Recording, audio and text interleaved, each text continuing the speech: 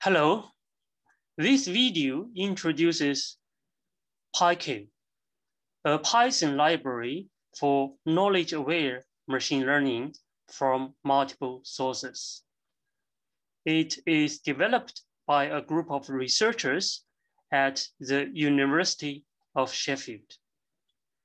This library has three objectives for green machine learning.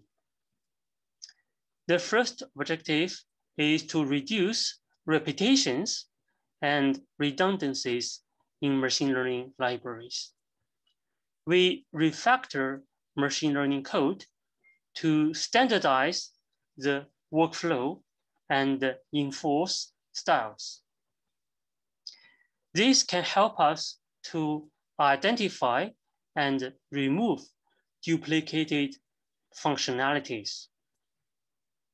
The second objective is to reuse existing resources. For example, we reuse the same machine learning pipeline based on multilinear PCA for different data, including gait videos, brain fMRI sequences, and uh, cardiac MRI sequences. And we, we also aim to reuse the, uh, the available functionalities in existing libraries as much as possible. Our final objective is to recycle learning models across different areas. We identify the commonalities between different applications and uh, build APIs to help us to recycle models for one application to another application. To achieve these objectives, we designed this library to facilitate the integration of data and the fusing of ideas. We have a pipeline-based API to help us unify the machine learning workflow. And uh, we adopt the core principles of standardization and uh, minimalism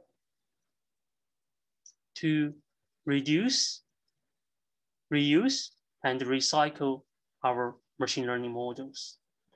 And these pipeline-based API and uh, minimalism design help us to break the barriers between different areas and applications.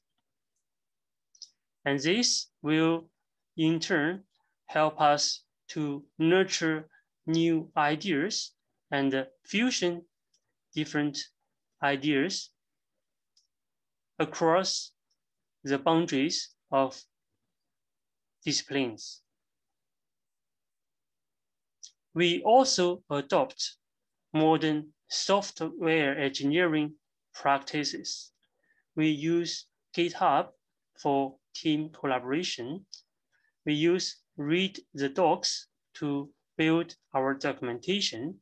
We use PyPI to distribute our packages.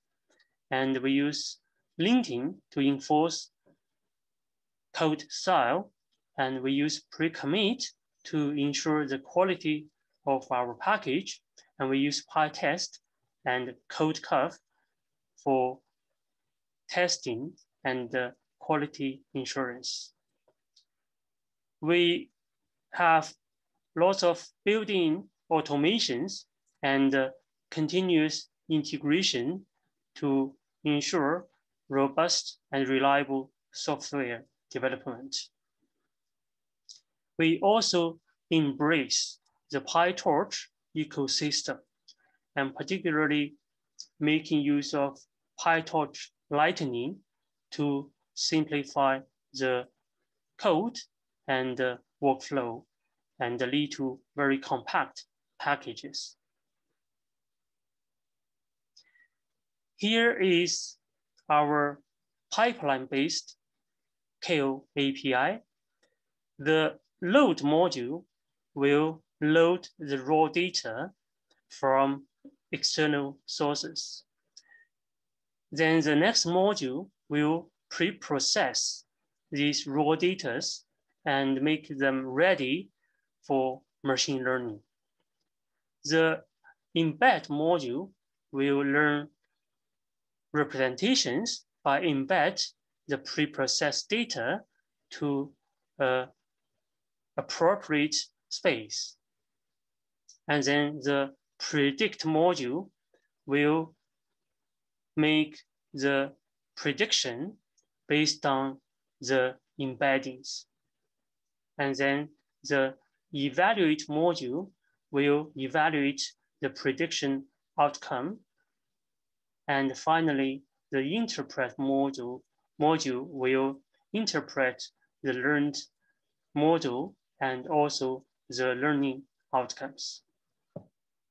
So here is an example of this pipeline-based API for drug discovery. We load the BindingDB dataset from external sources, and uh, then we do a pre-processing to transform chemical characters into a sequence of numbers.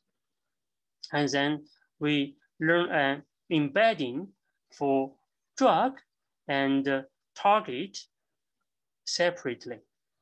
And then based on this embedding, we predict the binding affinity between the drug and the target.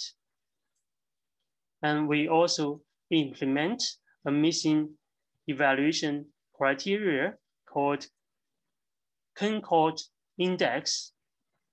And finally, we will present the learning outcome and the learned models for interpretation by our collaborator from AstraZeneca.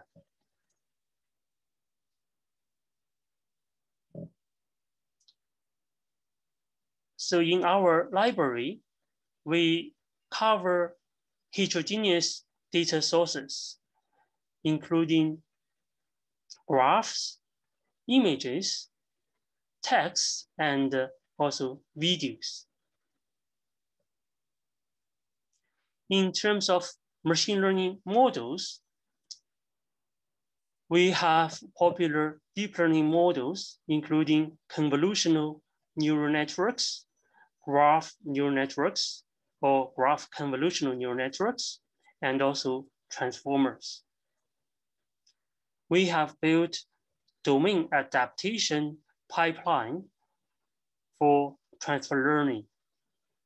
And we also have built libraries with API to handle heterogeneous data to facilitate data integration and multimodal learning. And finally, we're also building multilinear subspace learning model for the dimensionality reduction of multi-dimensional data. We have building several applications in three areas. In image and video recognition, we have examples on popular applications on data sets such as CIFAR 10, CIFAR 100, and the digits datasets such as MNIST, and also action videos. We also have examples on bioinformatics data and uh, for graph analysis, such as BindingDB for drug discovery and uh, knowledge graphs.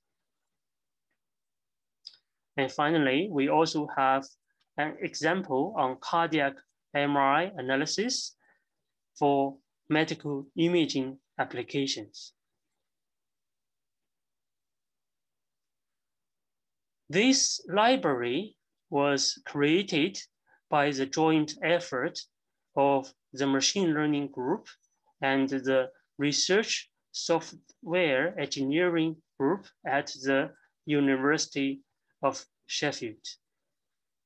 And this project has been partially funded by the Wellcome Trust through an Innovator Award. And this library is open source on GitHub at PyKale slash PyKale. And we adopt the simple permissive MIT license for distribution. And so far we have seven contributors making contributions to this library. And finally, we welcome any feedback or contribution from you. Thank you.